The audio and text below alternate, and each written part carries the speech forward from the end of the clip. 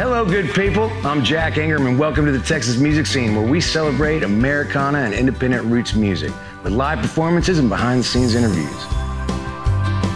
William Clark Green delivers a live performance of Goner from Whataburger's Texas Summer Jam 2 in Irving, Texas. Micky and Gary Braun of Micky and the Motor Car sit down to discuss Long Time Coming, their 2019 Keith Gattis produced record. We check back into my Acoustic Motel songwriter series with my good friend Dalton Domino, Double D, and his song Daddy's Mud. Jomo and the Possum Posse gives us another live performance from their album Take a Number, Satan. And that's all coming up on this super stacked version of the Texas music scene.